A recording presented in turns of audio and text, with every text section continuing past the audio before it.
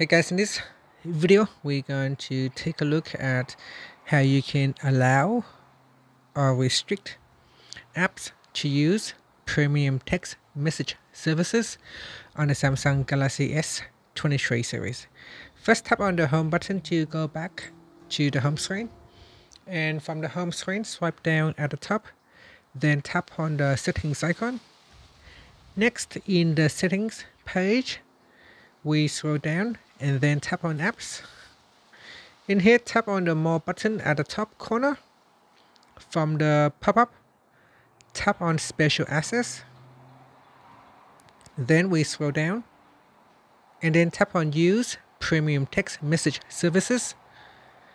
And from here, if there is any app that require the use of premium text message services, it will show us in here and then you can tap on that app to allow or deny permission.